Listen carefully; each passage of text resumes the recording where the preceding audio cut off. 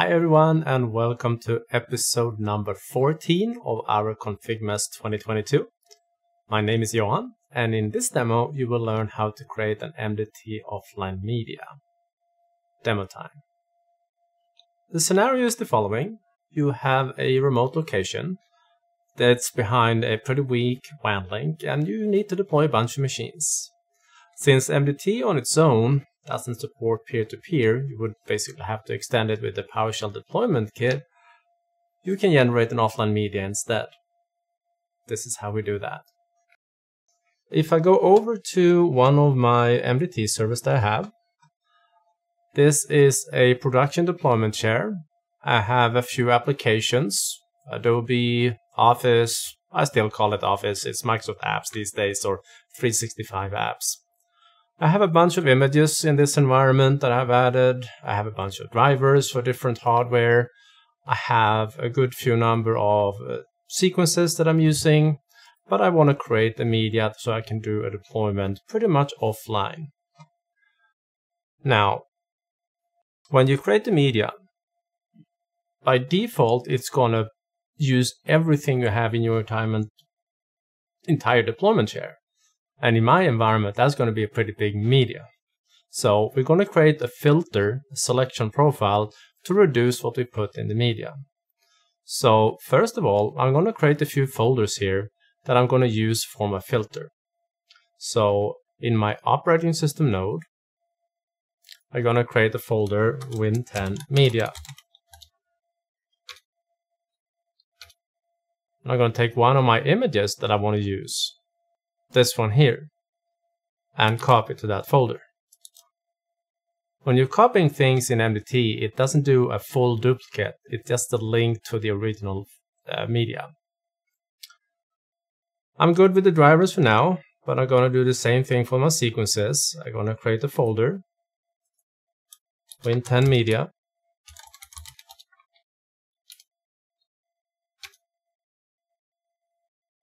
I'm going to take one of my MDT sequences, this one here, and copy to that folder as well. Now I can go ahead and create a filter. Selection profile, Win10 Media, it's a good name as any. I'm going to select the application folders I want to include in the media, so I'm going to pick my Adobe and Microsoft. I'm going to go to my operating systems and I'm going to include the uh, Win10 media folder there. In my drivers folder, I'm going to include the Windows 10 folder. You can add in this folder as well, just to have it. And in my sequences folder, I'm going to pick this one here. And I'm done with my filter. So I have selected what I need. I have a filter ready. Now I can go ahead and create a media. The trick when creating a media is to make absolutely sure you don't create it inside of your deployment share because that will break things. Create it somewhere else. So in my example here, I'm going to create a Win10 media folder and I'm going to store it there. This is outside of my production share, which is over here. So create new media. I'm going to specify that folder that I created. If I can type, I will do it. And I'm going to pick the profile that I created, my Win10 media profile. Hit next, next.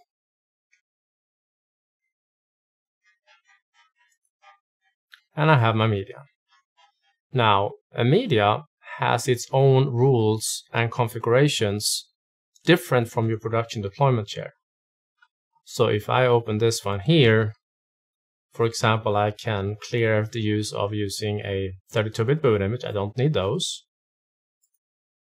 In the rules, this is my custom settings ini file. This is my bootstrap ini file. I'm going to replace them with some other settings. But first, I'm going to configure the boot image. So for my 64-bit boot image, I'm going to pick a different background image. And in drivers and patches, I'm going to pick my WinPE profile and include everything from that profile. This is a really good way to making sure you only add the drivers that you want to the boot image.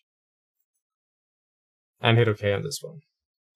Now, in this sample folder here, and I put a link here below the video where you can download these examples. But I have a bootstrap init file that is good for media. And I have a custom init file that is good for media. So I'm going to copy those over and uh, replace the existing ones. So if I go to my W10 media folder, content, deploy, control, paste in, and here we go. I'm going to review that um, init file, so I'm going to close this one here, go to my Windows 10 media, and just show you what I have configured here. So for a start, I'm setting a different computer name than the default. I'm using a user exit script to basically name this PC based on its MAC address. I could also have used the serial number if I wanted to, but Hyper-V VMs, they have a pretty long serial number, and it's not ideal to use that as a computer name. I'll give you an example. If I go over here and run this little PowerShell snippet, it will tell me the serial number of one of my VMs that I have. And as you can see, this is not the ideal computer name. And even if you use functions to, to shorten it to make a good name, you still really can't guarantee that it's unique. You're more likely to have a unique name if you base it on a MAC address, or if you have a physical device and you base it on their serial number. But anyhow, I have a little script that does that. I can show you that script. I have it here in my production deployment share. It's called set name. A very simple script. Gets the MAC address, puts PC as a prefix in front of it, and replaces the uh, colons in the MAC address. I have also configured this one to provide a KMS key for Windows 10 Enterprise. I have um, configured it to use a sequence or pre-select a sequence. I have configured it to pre-select a few applications and I have configured it to uh, skip most of the wizard panes in MDT. Since this is an offline media, I'm going to go ahead and remove this one here. I don't really need it. And save the file. Now, the next step is to update that media. So I'm going to right click and hit update. And the media has been created.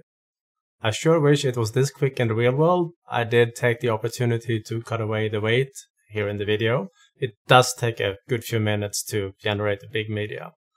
I'm going to click finish here and I'm going to take a look in that folder. Not this one, but this one here. I do have my ISO file that was created, 16 gigs in size almost. Out of those 16 gigs, about 3 is the application, 4 is the OS image, and about 8 gigs are the drivers. And I can now copy that media over to one of my Hyper-V hosts. Go back to that folder,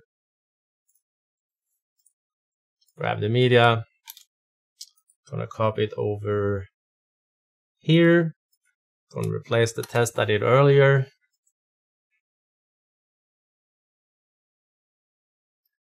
File is copied, and now I can go over to that host and create a virtual machine. I have prepared a PowerShell script, and once again, these scripts are shared in the link below.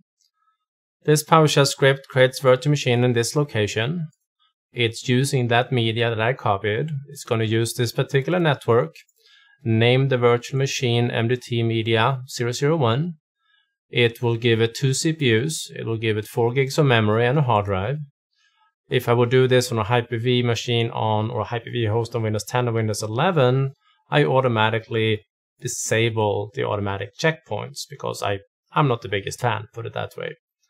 and then I will start up that virtual machine and connect to it using VM Connect. So I'm going to go ahead and run this script.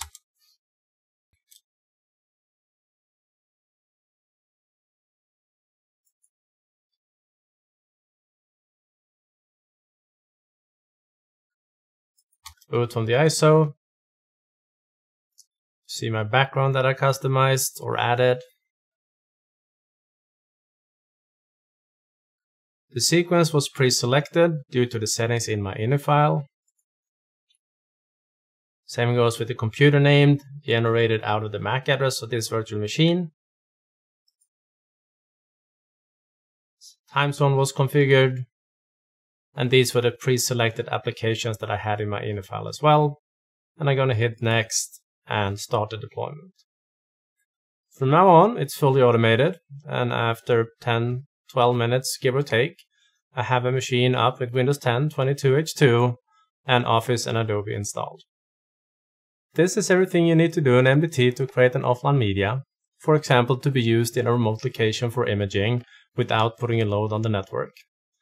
Thank you so much for joining, and I hope to see you again tomorrow. Bye for now.